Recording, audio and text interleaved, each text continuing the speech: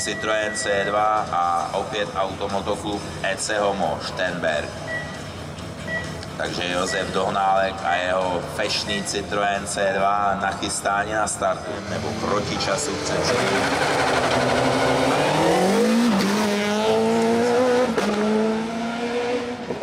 337 na svít. Jedná se o populární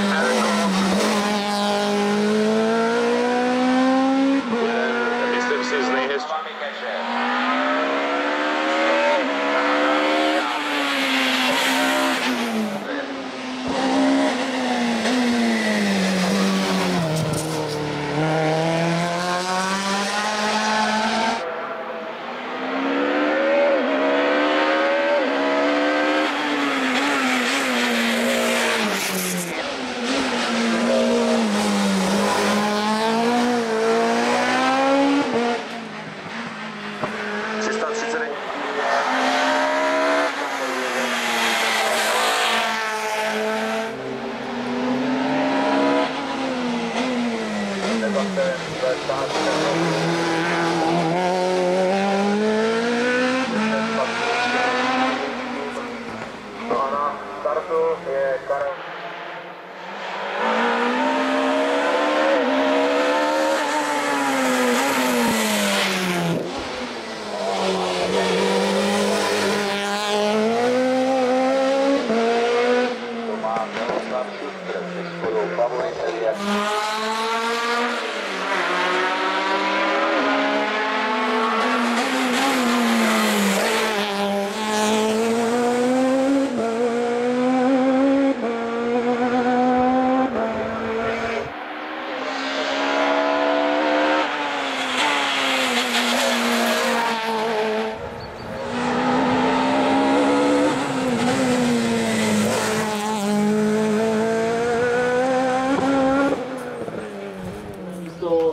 místo Lukáš Sameček, poslán do Ettinger.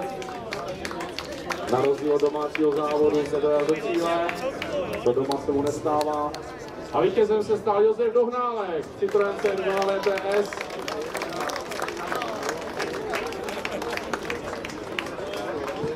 Takže to je vítězná trojice, vítězná trojice jezdců třídy E1H 1600 kubických centimetrů.